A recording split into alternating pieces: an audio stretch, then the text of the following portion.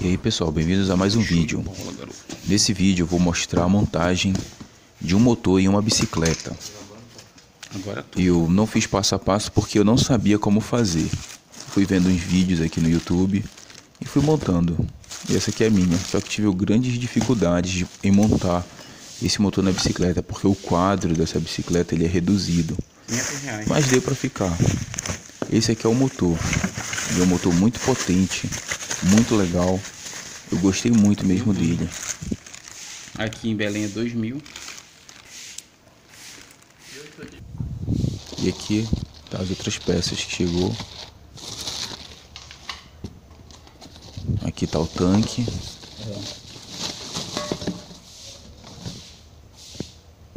O tanquezinho dela é bonitinho. Essas são as peças que acompanham o kit do motor. Embreagem, esticador de corrente, o motor. Chave de vela.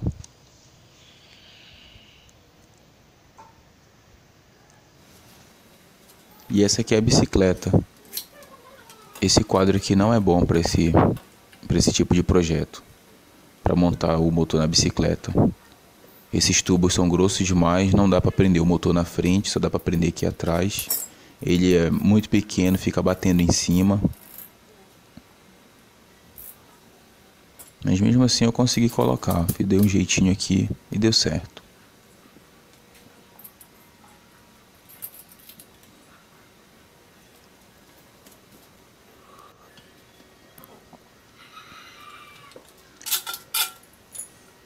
Aí na hora de colocar o tanque aqui eu percebi que a braçadeira que vem junto com ele não dá aqui. Aí eu pensei numa alternativa de como prender esse tanque aqui. É como olha só como não dá. É uma chapinha legal de ferro que dá naquelas finas. Como eu sou inscrito num canal aqui do José Souza, o Improvisando o Mundo, lá ele faz muitas coisas de chapa de PVC. Eu aprendi isso aqui, ó. Desenhei cortei e moldei aqui no fogo. Eu usei a descarga da bicicleta para fazer esse formato assim, ó. Aí depois é só do dobrar as pontas e furar. Essa aqui é a parte mais difícil, mais chata, mais demorada. Essa daqui. Você pega e corta só um lado das borrachas. Essa coroa aqui nessa posição aqui tá certa. Ela entra desse jeito aqui. E esse aqui sempre consulta o manual, mas o manual é meio complicado. Ele não tem, não vem trazendo as informações bem precisas. Vou deixar aí na descrição o link de um vídeo que eu assisti que me ajudou muito. O cara mostrou passo a passo de como fazer, bem detalhado, ricos em detalhes. Essa aqui, como é a minha primeira bicicleta que eu estou montando, acho que é a primeira e a única. Mas eu gostei muito de fazer isso aqui. Então se eu conseguir, qualquer um consegue. Basta ter paciência, dedicação e sempre ler o manual, procurar vídeos na internet, assistir mais de um. Sempre o pessoal ensina direitinho.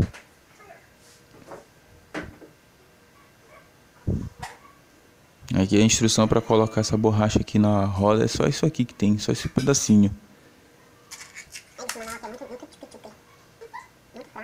A foto que vem no manual é muito pequena. Essas chapinhas de ferro vai por trás da borracha. Coloca as duas, é difícil de prender.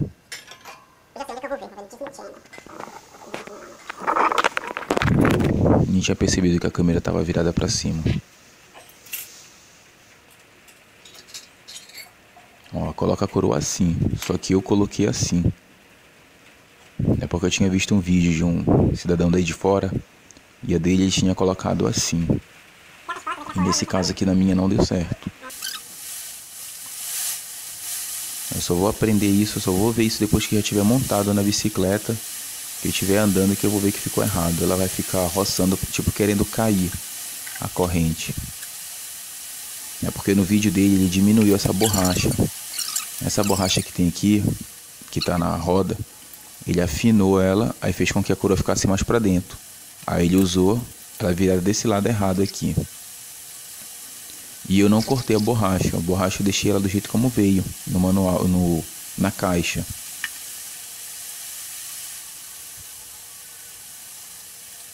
Aí depois de colocar todas essas porquinhas, depois de ter apertado, centralizado e depois de todo o serviço fui dar uma volta e não ficou legal.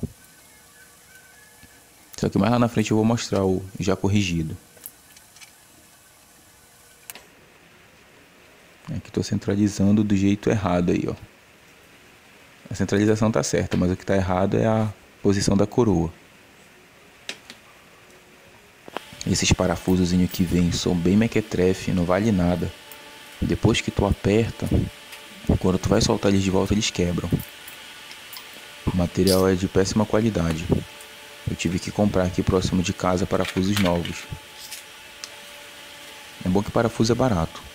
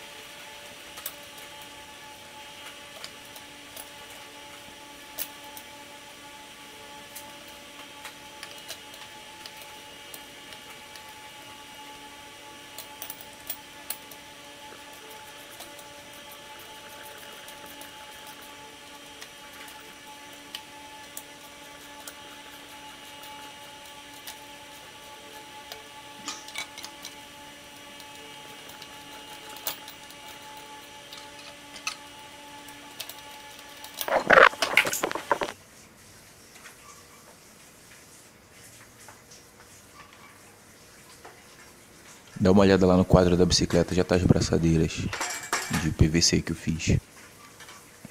Alguns vídeos eu fiz com a câmera, só que eu não encontrei onde ficou a gravação. Esse aqui são imagens do celular.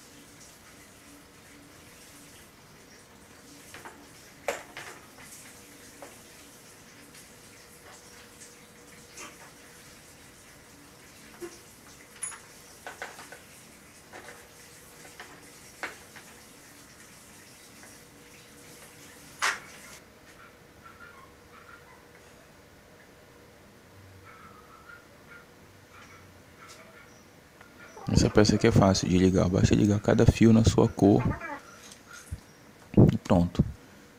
Tem um fiozinho extra aí que ele fica solto, que ele serve para, acredito que deve ser para lâmpadas. Isso aqui, ó, apareceu essa mensagem de erro aí, porque não é para usar esse esticador, esse esticador aqui mais atrapalha do que ajuda. Eu também removi, eu não usei mais esse esticador e nem essa peça preta que está aí no chão. Isso dá para te ver no cantinho do vídeo, que é a proteção da corrente. Isso também só atrapalha o movimento da corrente. E falando na corrente, essa corrente aí não vale nada. Ela é um material bem fraquinho, qualquer coisinha ela quebra. Essa corrente ela travou na hora que eu estava dando uma volta. Aí ela quebrou. Quebrou fácil, fácil. Nem de bicicleta quebra tão fácil assim. Então, como é para um motor de bicicleta a gasolina, deveria ter pelo menos uma corrente mais resistente.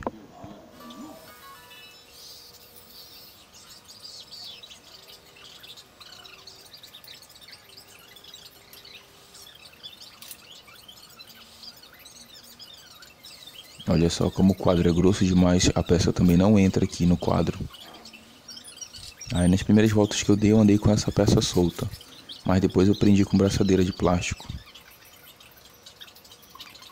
Aqui quando tu for rodar o motor, usa a chave, a chave de vela, que ela dá certinho aqui nessa porca.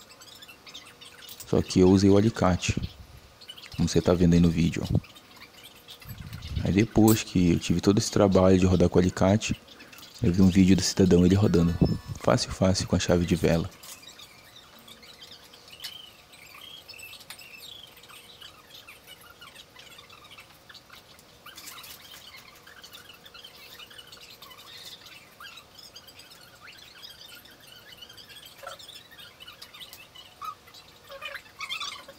Que eu vou medir a corrente para cortar.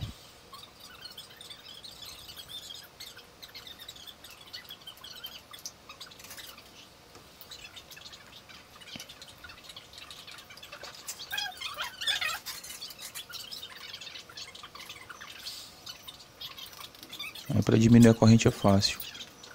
Basta bater nesses ferrinhos que ficam no lado da corrente, que ele sai fácil, fácil. Principalmente dessa corrente aqui.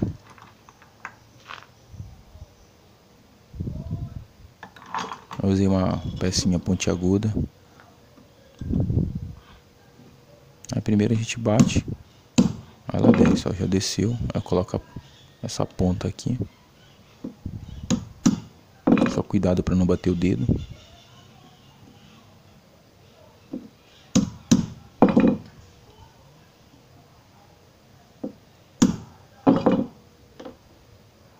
Prontinho.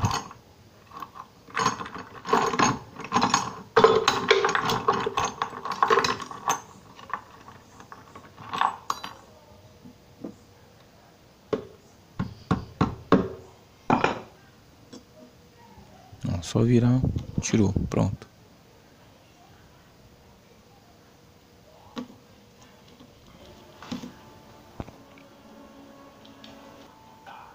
Nessa parte que eu fiz alguns cortes maiores, não coloquei, não mostrei colocando a corrente, porque eu fiquei de costa para frente da câmera e eu não tinha visto.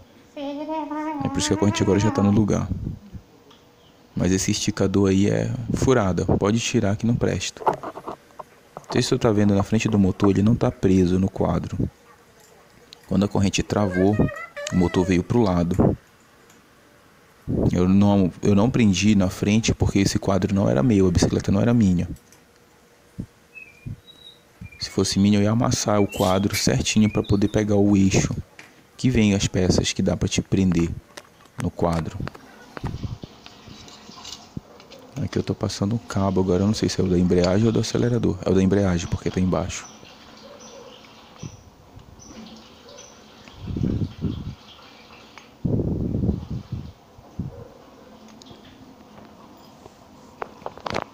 Aqui a embreagem eu deixei assim, ó, junto com a marcha de freio, a manete de freio. E aqui do outro lado é o acelerador.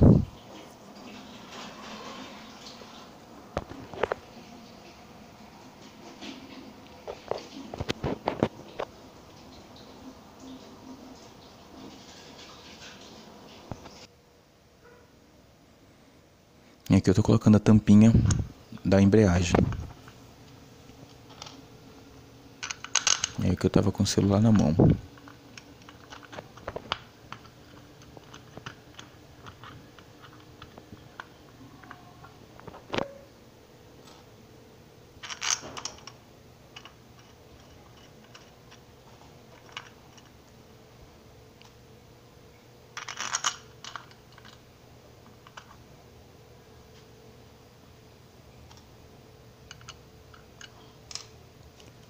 Se eu não me engano, os parafusos aqui também tem a posição certa de cada um, tem o seu local.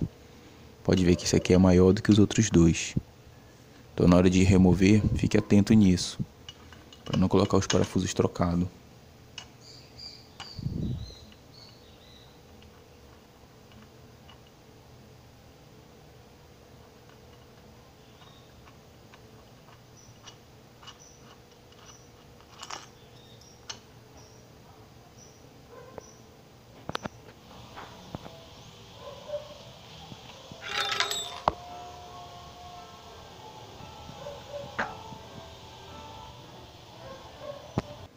Agora sim, tá no jeito certo aí, ó. Aquilo lá tava mostrando que tava errado, agora tá certo. E olha, tá sem já o esticador de corrente e o motor tá solto aqui na frente, como eu tinha dito, ó. E aí já dá pra dar uma volta na envenenada. A embreagem.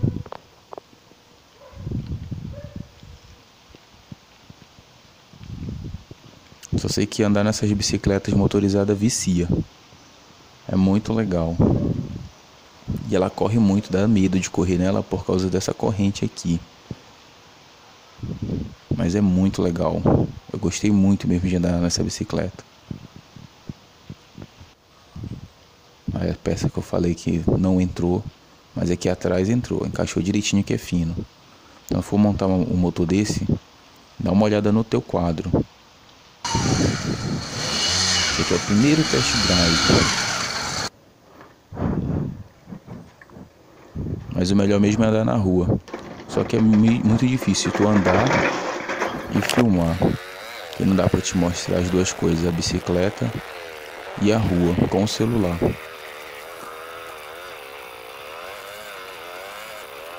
E eu encurtei bastante esse vídeo para não ficar muito longo. Mas esse projeto aqui foi um dos que eu mais gostei de fazer. Espero que tenha gostado do vídeo. Se gostou, deixa aquele like aí, curtir com a galera, compartilha com a galera, curte. Valeu!